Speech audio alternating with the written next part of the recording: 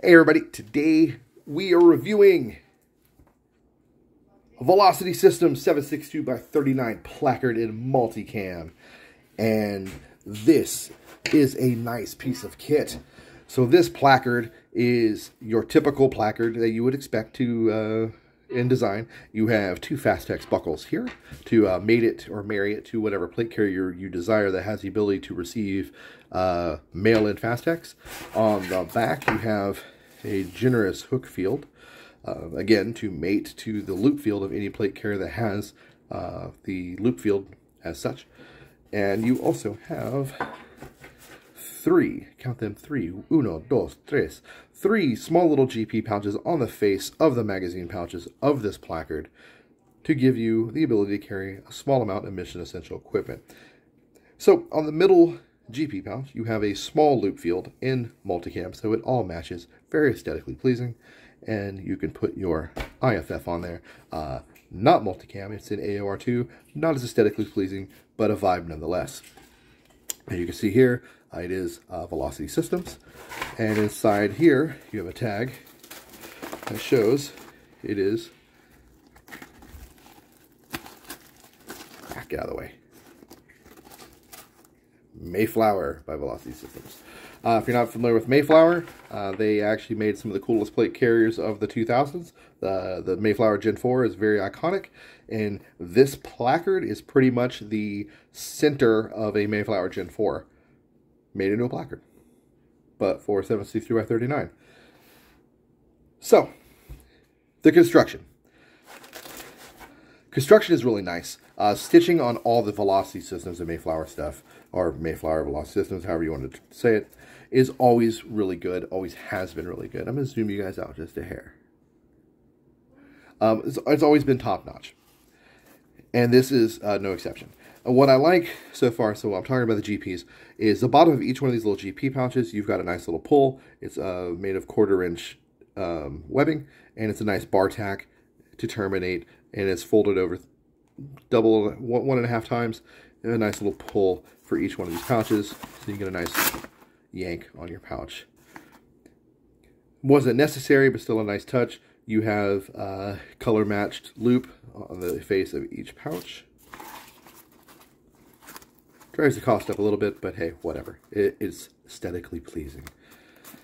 Stitching of the pouch to the face of the mag pouch area is really nice. It's uh, bar tacked where it needs to be, and then sewn down uh, standard like double stitch and regular stitching as needed. The bottom of each one of the little GPs has a grommet. One, two, three. Uh, I did notice there is no grommeting on the bottom of the magazine pouches, so probably unnecessary, but it's not. So probably actually good too. It keeps any uh, dirt or debris coming from with under to uh, get inside the area where the ammunition would be. The area where the magazine pouches are sewn to the actual body of the placard is uh, really aggressively stitched on here on the sides, as you can see there and there, and it's mirrored on each end here and here, and that's really good.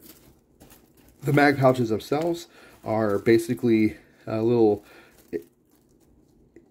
separate mag pouches within themselves sewn into uh, the placard itself. So in a lot of placardy type insert type things, you'll just have a thin divider here and here, and then just makes two large envelopes, or three large envelopes. Uh, they did a little different. It's very much a, uh, almost like a magazine pouch, taco type pouch that's been sewn inside of an envelope. And I think that adds to a integrity and a uh, durability to the pouch that you don't, the placard pouches that you don't normally see. Uh, the poles themselves are really nice. Uh, they're quarter inch webbing with this like um, leathery, rubbery Hypalon type material sewn over top. So it gives you really good purchase uh, with with or without gloves, uh, with wet hands uh, or not. And it's they're really nice pulls. I like these. Uh, that's a, been a mainstay of Mayflower stuff and Velocity stuff for a while. And it's something I've always liked about their uh, placards and their chest rigs. Moving on, the fitment. So I have three 762 by 39, or two 39 mags, and then a uh, 74 mag. Goes in really nice. In the middle, we've got the Arcturus 39P mag. I'm off camera, sorry. It goes in really nice. And then we've got your standard, uh, I don't fucking know, Tokyo Marui, your classic army, uh, metal, P, uh, fucking steel mid cap. All going really well, really nicely.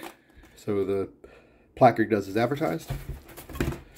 Draw is nice and smooth.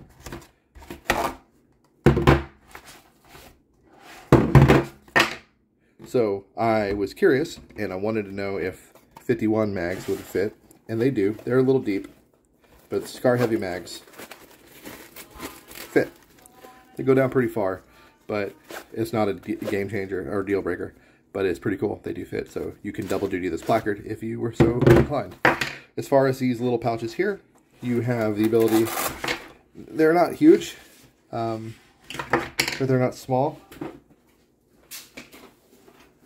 you can easily run. Uh, these are two Airsoft Glock 17 magazines. Uh, you could put those right there.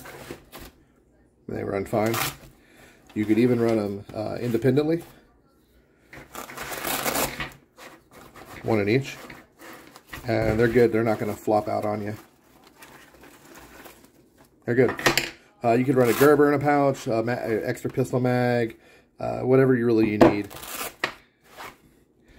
But there, this kind of gives you a, a take, an idea of the sizing. So, a couple pistol mags, whatever. Uh, this middle pouch, not a lot of stuff.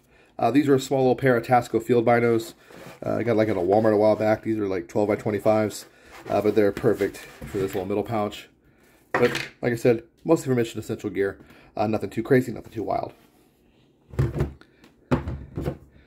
And uh, last but not least, I'm going to bring uh, my Wasp play carrier up and show you uh, the thing on a play carrier. Alright, so we got the Warrior Assault Systems uh, Recon right here. And this Velsys was made for this thing. It seems like. You just kind of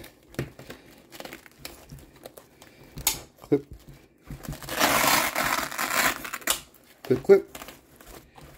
And there you go. Bam. It looks like it was made for this plate carrier. It's gorgeous.